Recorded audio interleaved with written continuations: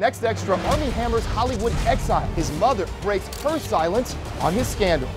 Next Extra. Tonight at 12 a.m. on WBNX.